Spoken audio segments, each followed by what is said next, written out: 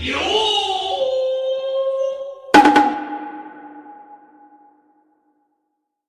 So, tell me about Phoenix Wright. So, no one knows this anime exists, and I think that's a tragedy. It really is. It's a great show. Not least of all because I want an excuse to cosplay as Miles Edgeworth. You would make the great Miles Edgeworth. I'm looking forward to being Miles Edgeworth. But guys, I want to be perfectly honest. Did you play Ace Attorney? Yeah, I did. Then you don't need to watch this review because holy shit is this anime faithful to it. It really is. It's almost word for word. They even take frames of the sprites that they used for the game and replicate them perfectly in the animation. It's so obvious that this was a passion project. It was. But you should watch it anyway. Yeah, you should. Mandy, Yeah? I'm so hyped talking about this show. Me too. Like, this might be the show I'm most hyped to talk about out of everything that we've talked about, and we've talked about some great shows. We did, but this is an awesome show, dude. It really is. So, let's discuss the intro, shall we? Yeah. So, let's start out by checking out this red 3D render of the courtroom. Oh, yeah. Nice model, guys. It's a shame you don't use it for the show. I know, right? It's also a shame you couldn't render any human models. Yeah. Here's our protagonist, Mr. Wright.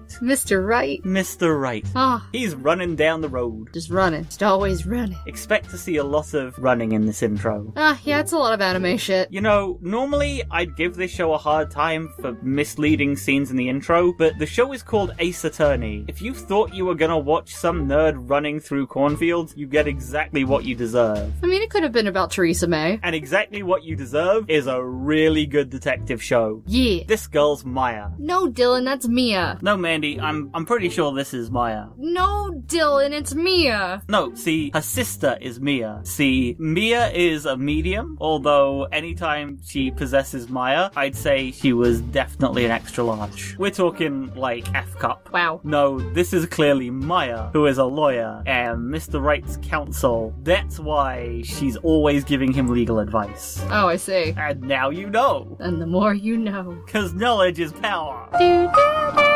And here's my boy, Edgy. Edgy. He's a romantic who likes long walks along the beach and withholding evidence from the defense counsel. What a prick. There's nothing wrong with liking long walks along the beach. I hate sand. It's coarse and it's rough and it gets everywhere. Not like here. Here everything's soft. Get off me! He's also bound to Mr. Wright by golden chains as their arguments have weighed up on the scales of justice. Hmm, I like where this is going. Ooh, daddy. I'm gonna assume that's not a metaphor, they're just really into some kinky ass roleplay. By the way, anyone who wants to cosplay Phoenix Wright chained to me cosplaying Miles Edgeworth, you should tweet me pictures of your Phoenix Wright cosplay so we can decide if it's good enough to make the cut. God, Dylan, you're such a slut. Link in the description to our Twitter, by the way. Now, let's run through a field of sunflowers. Yay! I like the metaphor, honestly. In Japanese culture, as I understand it, sunflowers represent hope, and Phoenix is nothing if not the epitome of running on nothing but hope. That's true, he's kind of the epitome of an optimist. He really is. Here's his friends running with him. This guy's Larry. Larry Butz! He murdered his girlfriend, and Phoenix Wright helped him get off scot free. God, wow, no. We'll talk more about him later. This guy's Detective Dick Cumshoe. No, no, Dylan, uh, gumshoe. Different. No, no, it's pronounced Dick. Oh, okay. Oh, I'm sorry, I'm pronouncing his name wrong. Dickard Cumshoes. There we go. Dickard! This Dick always looks like he's ready to explode at any minute. Yeah, wow, no. These four dorks running together through a field of hope, yeah, you're pretty screwed if this is your best defense. True story. Oh, hey, there's Mia passing by. Phoenix gotta stop to get a look at those F cups. Wow, Dylan. And then we gotta end the intro there. Quick, everybody out of the studio. We only have it booked for an hour. It ends so abruptly. It does. They gotta make room for the Persona 4 band. Guys, please ask us to review Persona 4 so we can make this joke again. right. I'm so excited. Boss tippers, unite! I mean, if I discuss the deep layers of symbology in this intro, people are going to start calling me a weeb. Yeah. But they're really fascinating and really well done. You still a weeb, though? I didn't discuss them! You did with me a long time ago in a galaxy far, far away. Bow, bow, bow, bow, bow, bow. Bow, I can't even ask this anymore.